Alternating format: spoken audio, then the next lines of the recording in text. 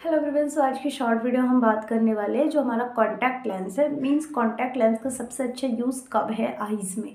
जैसे कि contact lens आज नॉर्मली काफ़ी लोग पहन रहे हैं, जिनको पावर है वो भी पहन रहे हैं एंड जिनको नहीं है वो भी पहन रहे हैं। जैसे फ़ंक्शन में काफ़ी गर्ल्स जो है कॉन्टैक्ट लेंस का यूज़ करती हैं बट अगर किसी को पावर है एंड वो स्पैक्स या चश्मा लगाना नहीं चाहते हैं, जो पेशेंट वो भी कॉन्टैक्ट लेंस पहन रहे हैं।